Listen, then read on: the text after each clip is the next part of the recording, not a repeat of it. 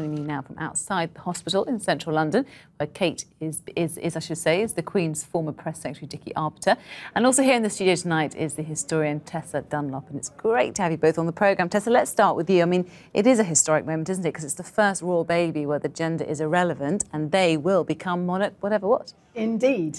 Uh, and so we're waiting for, I was going to say, it's not our next head of state, of course. It's going to be third in line to the throne after Grandad Charles, uh, Father William, and then, of course, uh, this newborn baby. Be she or he a girl or a boy? And that is quite something. Remember, even when the Queen was born in 1926, uh, nobody knew then she was going to become Queen. Uh, it was because of the abdication, etc., that she ended up Queen. And, and, and so this is really uh, quite a moment, a tense national and global moment. And Dickie, it's a moment in history as well for the Queen, isn't it? Because there aren't many occasions where a reigning monarch has been alive to see their great grandchild, who will be heir, born. No, there aren't many occasions. In fact, the last one was uh, Queen Victoria, uh, when her son uh, became Edward VII. Uh, his son became George V, and his son, or sons, became Edward VIII, and subsequently George VI. So it really is quite a historic moment. And Tessa, we, we, just saw in that report there that they are keeping the tradition of how they're going to make the announcement to the world rather than tweet it. But they're a modern family, aren't they? And they like their privacy. Do you think they've got this mix right? Well, it's incredibly difficult because, on the one hand, uh, they're all about convention. They're this wonderful anachronistic blip, aren't they, the monarchy, in the modern world.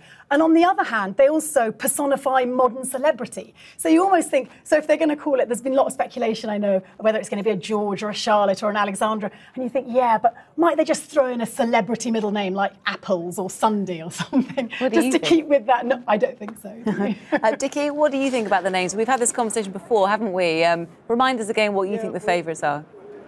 Well, we have had the names, and I'm not putting them any any any particular order. If it's a girl, I think Victoria, Alexandra, Frances, and Elizabeth will be there. Elizabeth because of the Queen, and it's uh, Catherine's middle name. Frances because uh, Diana had a second name as Frances. Alexandra because it's a name that's been used quite frequently, and even today is used. And Victoria very traditional. Again, it's another name that's been used quite frequently. As far as boys are concerned, well, I reckon there'll be George, Albert, Philip, Charles, um, all names associated with, with the royal family, and again, all names that have been used quite regularly over the past hundred years or so.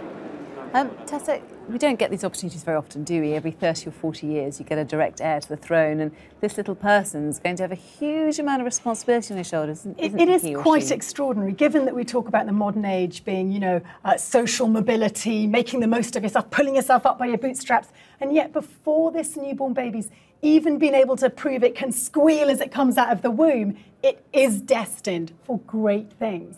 And that uh, does confuse many. And I think uh, many people sort of feel ambiguous about their relationship uh, towards the royal family. Yet, despite that, you know, uh, they have somehow pulled it off. Yet again, we've had a great coronation celebration. We had a wonderful marriage, of course, 2011. We had the Jubilee celebrations. And they've, every step of the way, uh, they've defied the sort of bar humbuggers in the corner. And they've even, of course, outsmarted, dare I say the Anglican Church, where they've proved that despite being this very old fashioned, undemocratic institution, hey, they're going to throw a bone to the feminists and be, be it a boy or a girl, it's going to be uh, the, the, the, king or the queen. And, Dickie, what do you think life will be like for this little royal, albeit a very senior royal, in the first couple of months and years? It will be a very senior role, being third in line to the throne. It'll have a normal upbringing, very much like William. After all, William went to a nursery school in Notting Hill Gate and a pre-prep school.